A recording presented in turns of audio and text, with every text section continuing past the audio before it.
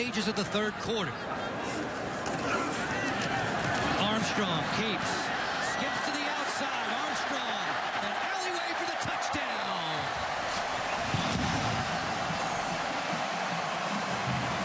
Tommy Armstrong from nine yards out, and the Husker fans strike up the band.